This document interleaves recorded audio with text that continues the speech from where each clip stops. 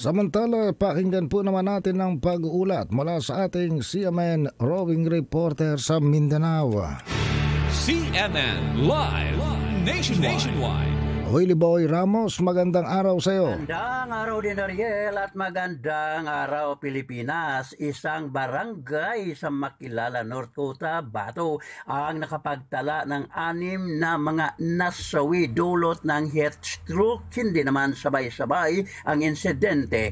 Ito ay ang barangay San Vicente na ayon sa village chairman dito na si Rigabia sa panayam ng mga reporters, isang dalampung 29 taong gulang na binata. Tatlong mga senior citizens, isang maglalako ng buko juice at mayroong isa pang binata ang mga nasawi. Lahat hindi binunyag ang pangalan ng kapitan na ayon sa kanya base na rin sa ipinilabas ng Municipal Disaster Reduction and Management Office na mula sa Pag-asa Advisory pumalo ng 40 degrees Celsius ang heat index ng mga naranasang temperatura sa kanilang lugar. Eh, pinag-utos naman ng Department of Education North Dakota Bato Division ang pagbabawal sa mga outdoor activities. Kasabay ito ng pag-obliga sa mga estudyante na uminom ng maraming tubig. Bonsod pa rin sa patuloy na mga naranasang init ng panahon. Ayon kay North Cotabato DepEd School Division Superintendent na si Romalito Flores, may mga insidente na ng pagkahilo at pagkamatay ang natala sa bayan ng Matalam, North Cotabato. May mga insidente na rin ayon pa kay Flores ng pagdurugo ng ilong sa bayan ng Pikit Nortuta, Bato, bunga pa rin ang matinding init.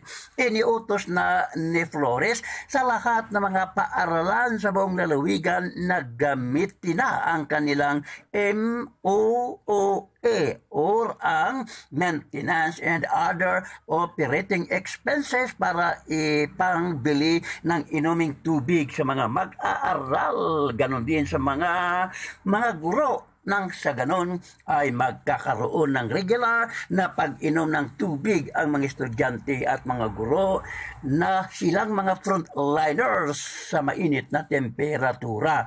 Pagtitipid naman ng tubig ang panawagan ni Miga Kidapawan City North Cotabato Division Manager Water Resources Engineer na si Engineer John Siniesa sa mga concessionaires ngayong nakita na ng 50% pagbaba ng level ang mga water dams at springs na pinagkukunan nila ng supply ng tubig. Sinabi ni Sinisa na may mga lugar na silang uh, alas 12 ng ating gabi hanggang sa alas 4 ng madaling araw ang serbisyo ng Miga Kidapawan Water District dahil sa mga pagbaba ng level ng tubig sa lugar na kanilang pinagkukunan Corán.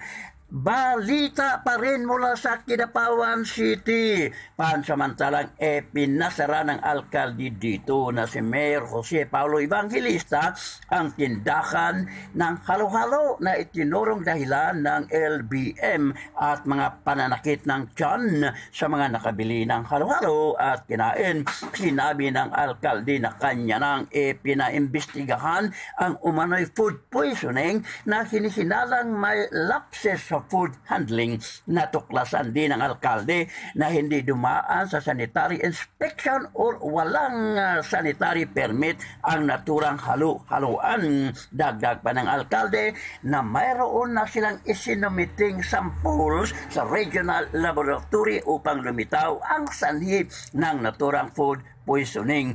Wele Ramos, CMN roving reporter ng Mindanao, Radyo Kalikasan ng Oog City Base, nag-uulat ng live para sa CMN Pilipinas. CNN Live Nationwide. Nationwide. Maraming salamat, Tony Boy Ramos, ang ating CMN roving reporter sa Mindanao.